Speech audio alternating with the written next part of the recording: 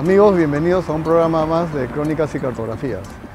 Estamos en la Huaca La Merced, distrito de Surquillo, y vamos a hacer entrevistas en esta oportunidad a la arquitecta Mirna Soto, al grupo de arqueólogos que está trabajando en la Huaca La Merced, y todo esto en el siguiente bloque.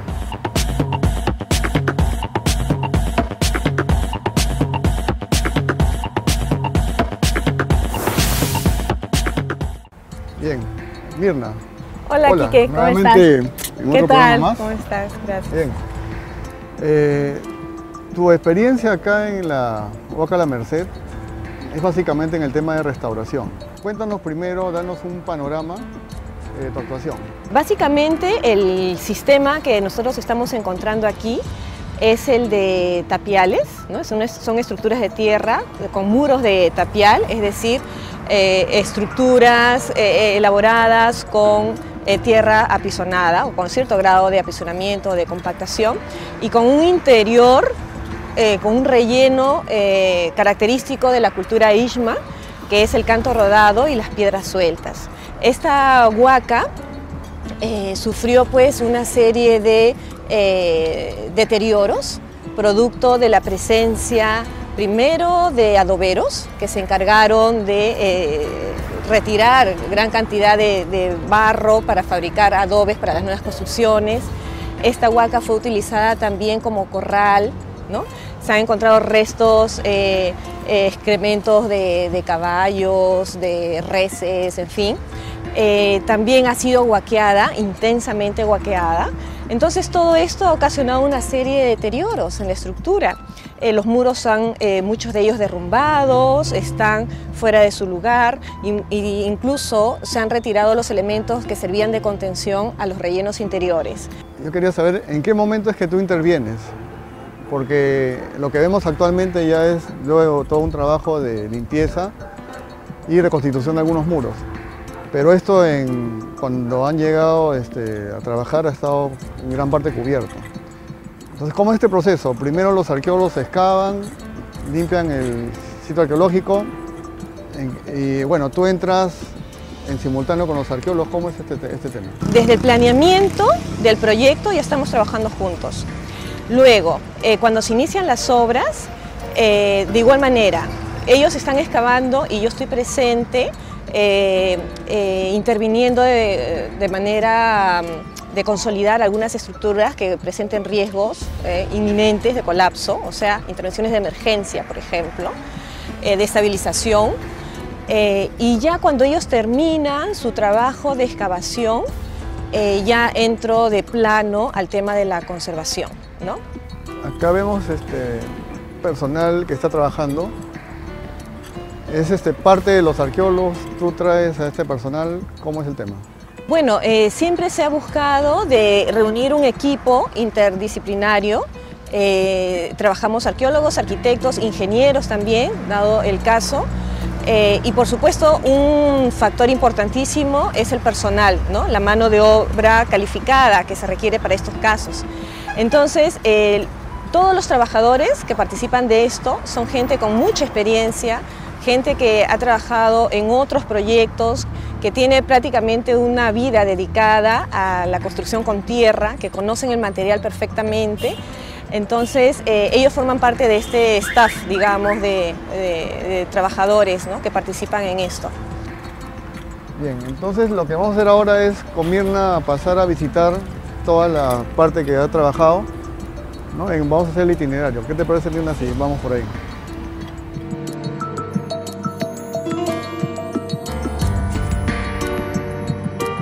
Esto, esto era una, una escalera, si Un tú baño. logras ver aquí, ¿no?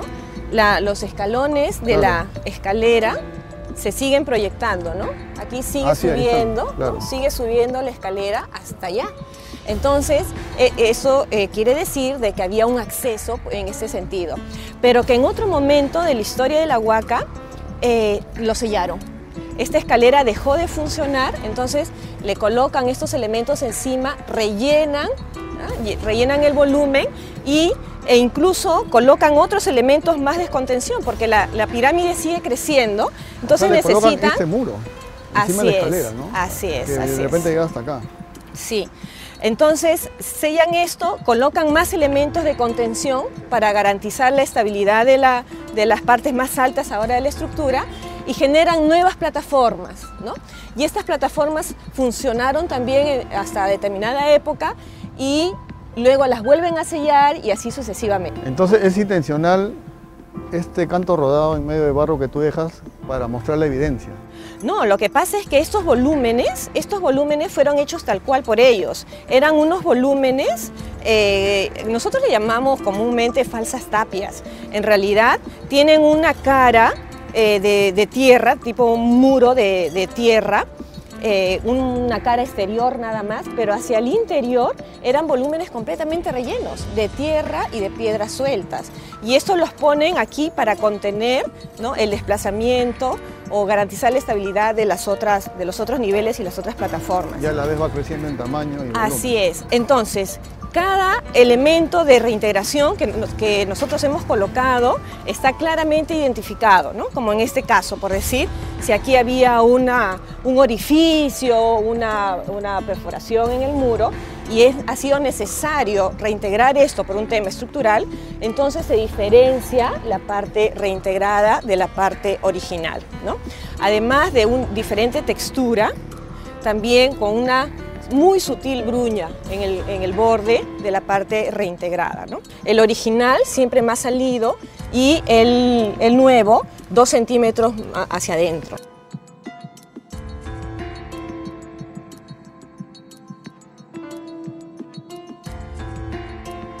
Este muro que nosotros encontramos aquí estaba sobre material de relleno, ¿no? entonces era inestable y la altura de, la base, digamos, de este muro con respecto al, resto del relleno que encontramos era de aproximadamente un metro. Entonces estaba literalmente en el aire, estaba volando el muro. ¿no?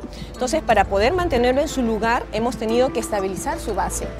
Y esa estabilización se ha logrado colocando estos eh, adobes, ¿no? adobes escalonados para garantizar la mayor estabilidad, para impedir el desplazamiento de los rellenos.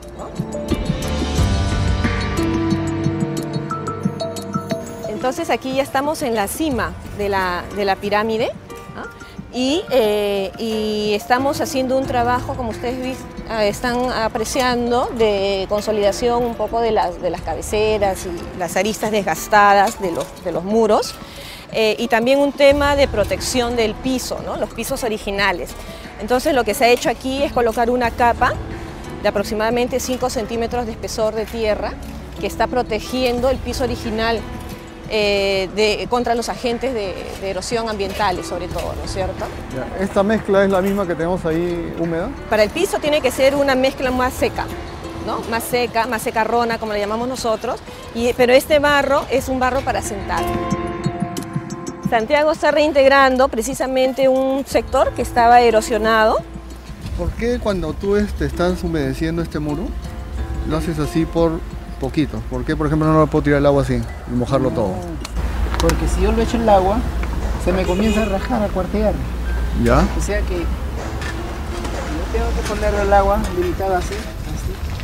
Entonces, lo estoy haciendo así. Entonces me lo estoy dando los poritos que me quedan. ¿Y cómo es el tema de la consistencia? ¿Cómo tiene que estar para que sea un buen barro?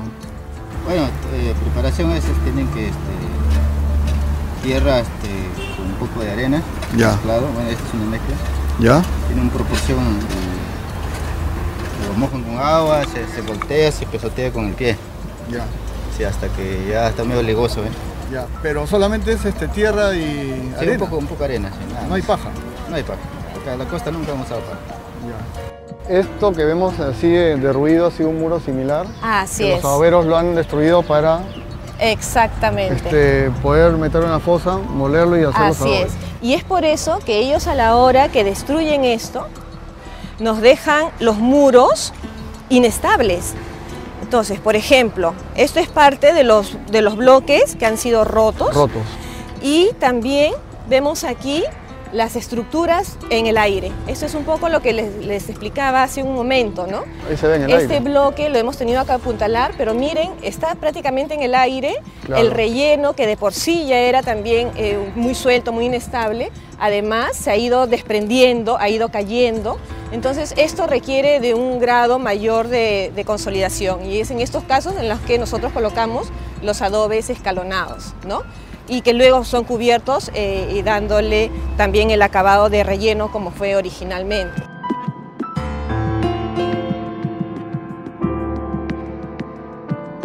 Bien, vamos a aprovechar la presencia del arqueólogo Pedro Caicho. Él está trabajando actualmente en la Huaca La Merced. Él es arqueólogo de San Marcos. Pedro. ¿Qué tal? Un gusto. ¿Cómo estás? Dime, ¿qué estás trabajando en este momento acá en, eh, bueno, acá hemos, cuando llegamos, había ocupación moderna que ya más o menos ves el muro que está ahí erosionado. Esa altura estaba todo cubierto.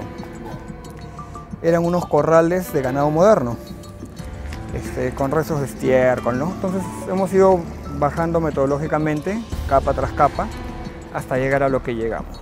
A este sitio que ya ha sido disturbado por huaqueros, y al parecer esto ha sido una plataforma que ha llegado hasta por allá. El problema es que está todo destruido y solamente quedan estos muritos que ves acá.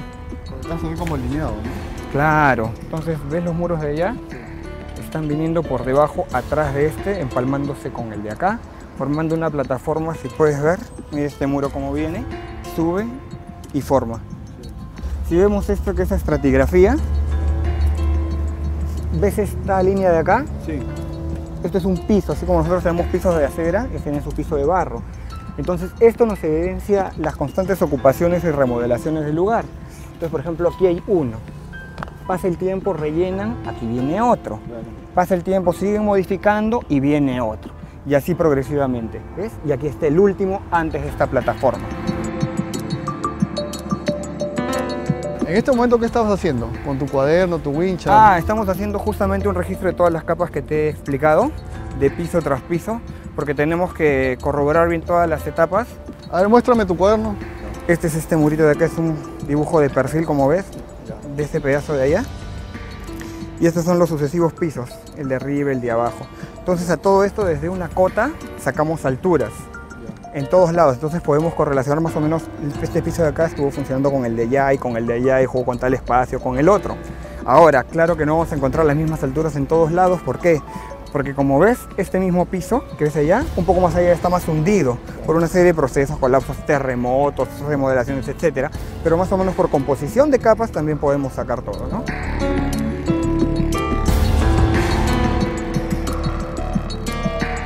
Ahora con la arqueóloga Cecilia Camargo, es arqueóloga de la Universidad Católica y es la directora de toda la puesta en valor y restauración de la, y excavación de la Huaca de la Merced. Hay una cosa importante, si nosotros estamos viendo este trabajo es porque detrás ha habido todo un tema de gestión. Entonces la primera pregunta que te hago, Cecilia, es eh, que nos cuentes cómo es todo este proceso. En este caso en particular, de este proyecto acá en Huaca La Merced, ha sido una iniciativa enteramente estatal. Todo el proyecto está financiado por el Plan Copesco Nacional, que es una unidad ejecutora del MINCETUR, que conjuntamente eh, con el Ministerio de Cultura eh, empezaron más o menos desde el 2010, que se firma un convenio, a tratar de revalorar algunas huacas de Lima. Huaca La Merced está dentro o está enmarcado dentro del proyecto de Huacas de Lima, que incluye eh, el trabajo de tres componentes. Las construcciones de ambientes como salas de museos, gabinetes, oficinas, eh, que, ya se ha dado en varias de estas huacas. Un segundo componente que es la puesta en valor, que en este momento se está ejecutando en Huaca La Merced y en otras, otras cuatro huacas de Lima. Y el tercer componente es el de iluminación. ¿no? Este, esta iniciativa se fue trabajando durante todo el año del 2010, 2011 y la parte netamente arqueológica se inició más o menos en octubre del 2011. En la, parte de infraestructura me dices, entonces esto que vemos acá al costado vienen a ser los gabinetes, vienen a ser los gabinetes. Sí, eh, en Huaca la Merced se ha construido un área que es eh, para una sala de museos, un gabinete para investigaciones, almacenes y servicios higiénicos. En, otros sitios además se incluye una boletería. Digamos que la infraestructura necesaria, básica, que, pueda tener eh, un- uno de estos sitios en Lima. ¿no?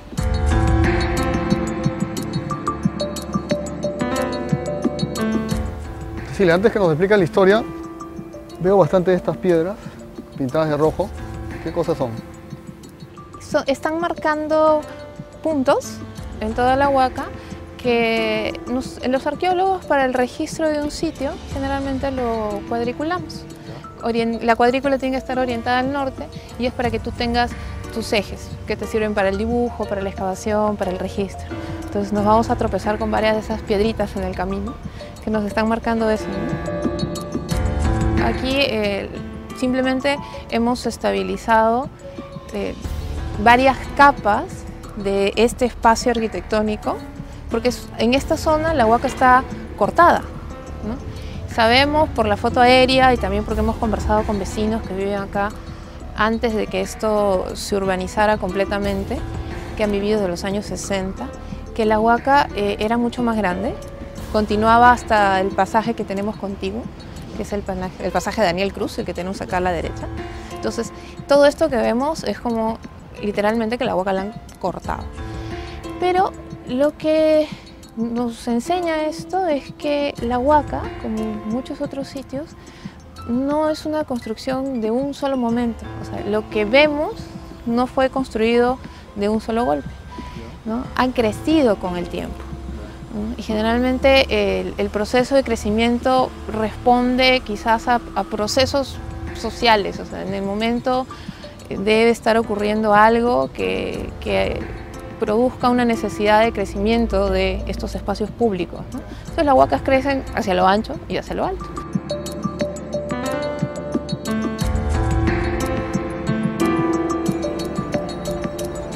Sabemos que esta es una arquitectura anterior que me está formando otro tipo de espacios, que además ha jugado con otros pisos, con otros rellenos constructivos para elevar el nivel y terminar en el último piso. Esto me está hablando de tiempo, me está hablando de diferentes etapas y con un diseño arquitectónico diferente. O sea, no solamente crecen los espacios, sino muchas veces cambian de orientación, cambian de dimensiones. Por Y lo eso- menos acá hay cuatro, ¿no? Uno, dos, tres, cuatro momentos. Claro, tienes este muro que se adosa a otro muro que está cubierto posteriormente por un piso y de nuevo elevan el nivel con esto de aquí que es un relleno constructivo para nivelar el, el terreno y construir estos pisos Y después uno más. y después uno más que además si se puede observar tiene una ligera inclinación porque al parecer fue una rampa que jugaba con esto que es un acceso. Un acceso que además ha tenido varios momentos porque primero tiene escalones y después ha sido una rampa. Es decir, las remodelaciones son constantes y el crecimiento es también con- constante en el tiempo. Y, y este nivel me dice que en un momento inclusive ha sido sellado. Al final lo sella. Al final lo sellan. Y ya otro momento, que ya ha sido destruido. Posiblemente, que ha sido destruido. Lo que hemos recuperado acá nos habla que al menos la ocupación de esta huaca eh, en cuestiones de tiempo es más o menos desde el finales del periodo intermedio tardío hasta inicios del horizonte tardío. Y básicamente por el estilo es Ishma. No, hemos encontrado cosas propiamente incas. El sitio fue utilizado para enterrar a gente, fue utilizado de cementerio y parece que eh, durante un largo tiempo. Y estos entierros son, al parecer, de la época eh, horizonte tardío.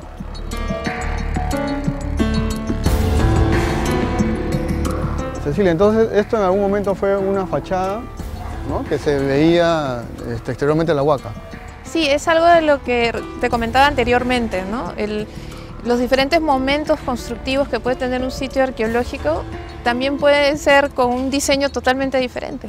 ¿no? Acá vemos que primero teníamos, parece ser una fachada escalonada, porque estos muros los hemos captado a todo lo largo y que después construyen este muro alto hasta en dos momentos para hacer eh, plataformas. O sea, ya deja de ser escalonado y lo hacen unas plataformas con accesos por otro lado. Y parece inclusive que el volumen continúa acá, ¿no es cierto? Ahí se ve. Eh. Debe haber continuado. Probablemente, probablemente. Entonces es un claro ejemplo de cómo ha ido cambiando de, forma y cómo ha ido creciendo la huaca en el tiempo.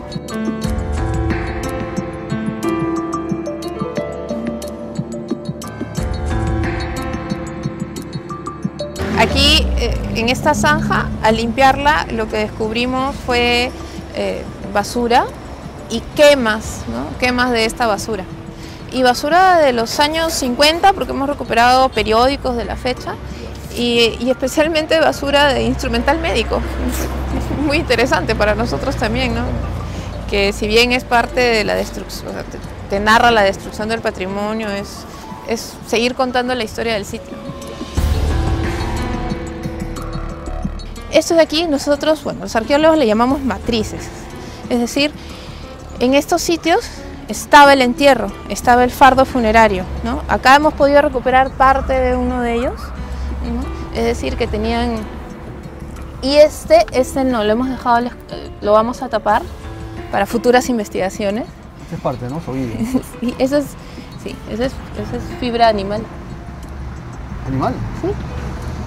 Porque le han, le han dado la forma de su Sí, hay muchas veces el, el pelo humano o fibra animal la encuentras trenzada, ¿no? Sería de camélido o puede ser cuy y otra cosa. No, de ser sería de camelio. Ujú. Y acá tienes, por ejemplo, algodón, ¿no? algodón, tela, ¿no? Está en la pepita, está dentro. Claro, que hay tela. O sea, hay un fardo acá entonces, ahorita.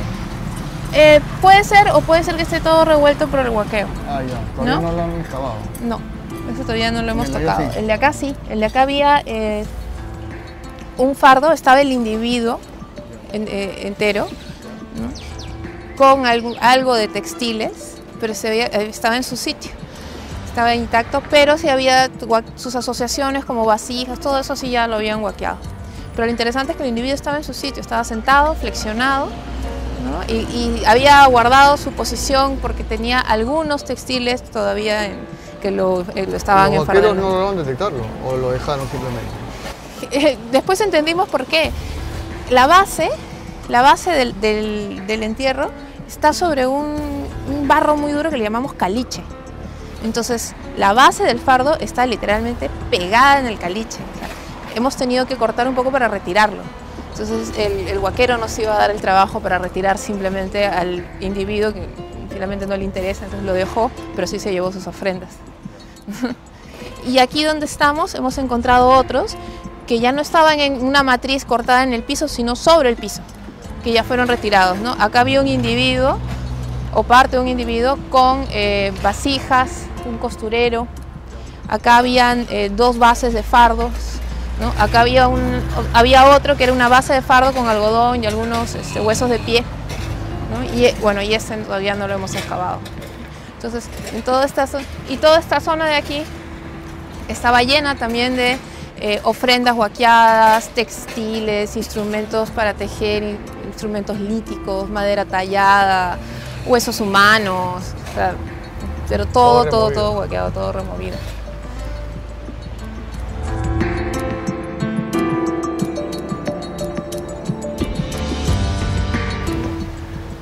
En esta parte que se ha trabajado, ahí se ve un vano. ¿Ese vano es Ishma?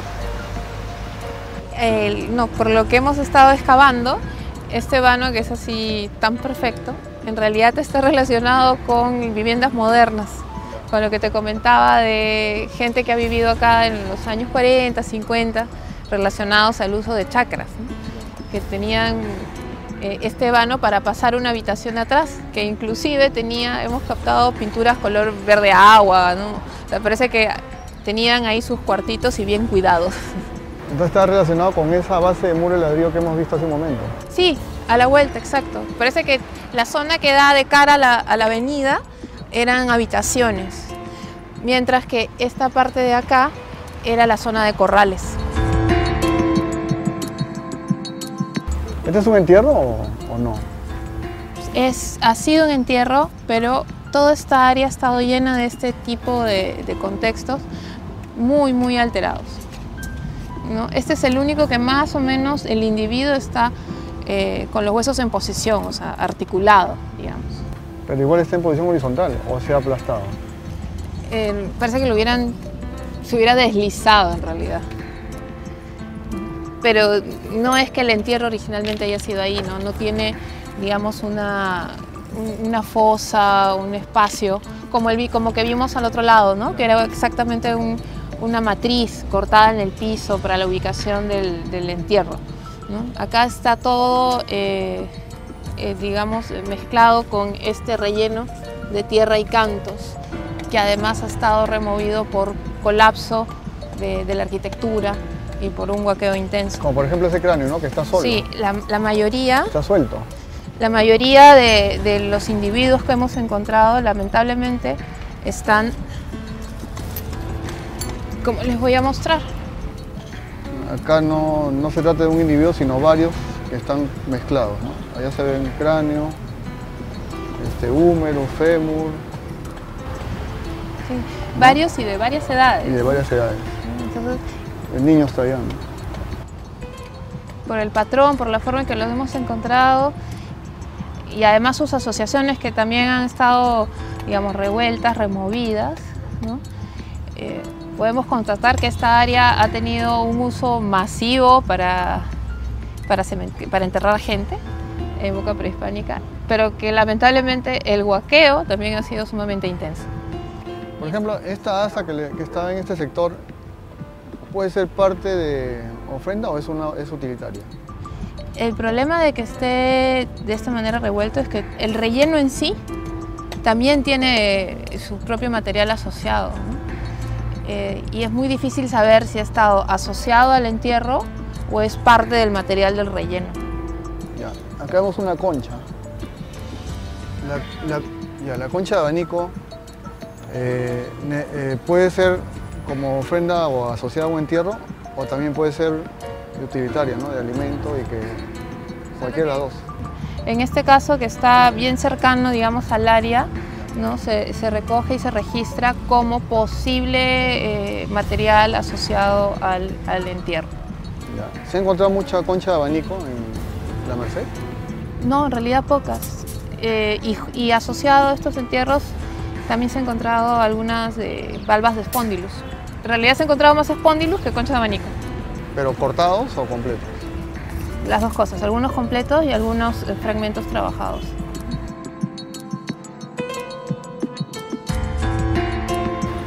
Así como hemos visto disturbada esta zona, ¿no? Por, que aparentemente se ha ido como mo- removiendo, cuéntanos entonces esta cerámica. Sí, increíblemente con toda la remoción que ha habido, hemos encontrado algunas vasijas, algunas piezas enteras, como esta de acá, que está a un nivel del relleno, y estas, que están a un nivel más bajo. Aparentemente también enteras. Estas vasijas deben haber estado asociadas a los entierros humanos que vemos, similares a los que vemos atrás, de los cuales eh, nos quedan básicamente las vasijas. ¿Está pintada de blanco? ¿O Sí, un es- claro? Es como un engobe, un engobe blanco que es muy típico de la, de la cerámica Ishma, ¿no? que es este, el borde o a veces parte del, del cuello, tiene como brochazos blancos o todo el borde en sí, le ponen un engobe de este color. Y a veces tiene unas aplicaciones oscuras con negro, ¿no? A veces tiene la decoración blanco y negro tipo chancay, que le dicen. Claro, algo así. Mientras esta, Esta es, todo, es toda una vasijita es entera que tiene como hollín inclusive, ¿no? O sea, debe haber sido una vasija utilitaria de de pasta oscura y, y además usada. Tiene hollín de quema. Ese puede haber sido un factor para que los eh, guaqueros la dejen. Posiblemente, eh, aparte es todo estado tan revuelto que uno se imagina al huaquero de repente hasta selectivo, ¿no? Llevándose cosas que especialmente le interesan. Pero tiene tanto que esto lo deja. Pero eh, esto debe ser el menos del 1% del material que deben haberse llevado.